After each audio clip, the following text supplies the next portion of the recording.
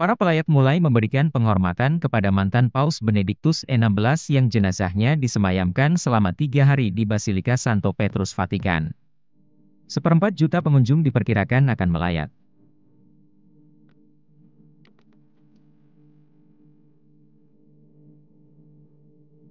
Pintu ke Basilika Santo Petrus di Vatikan dibuka pada hari Senin untuk memungkinkan ribuan orang mengantre kesempatan untuk memberi penghormatan kepada mendiang Paus Emeritus Benediktus XVI, yang meninggal pada Sabtu 31 Desember 2022 pukul 9.34 waktu Vatikan pada usia 95 tahun.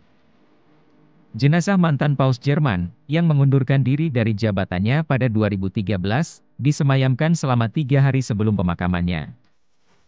Orang-orang mulai berkumpul di luar basilika saat fajar sebelum pintu dibuka.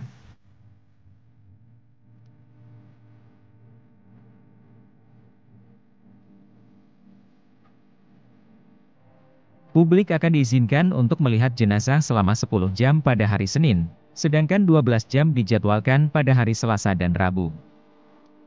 Vatikan belum merilis daftar tamu untuk pemakaman Benediktus selain dari fakta bahwa itu akan mencakup delegasi dari Italia dan juga Jerman, di mana Benediktus, sebelumnya Joseph Ratzinger, lahir.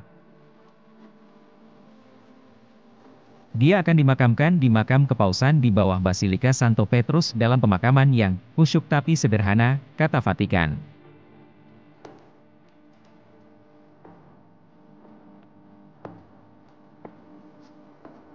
Para pejabat mengatakan mereka mengharapkan sekitar 25.000 orang untuk datang dan memberikan penghormatan kepada Paus, yang dianggap oleh banyak teolog ahli tetapi juga tokoh yang memecah belah dan sangat konservatif di gereja katolik. Pemakaman pendahulu Benediktus, Paus Yohanes Paulus II, pada tahun 2005 dihadiri oleh satu juta orang, termasuk kepala negara dari seluruh dunia.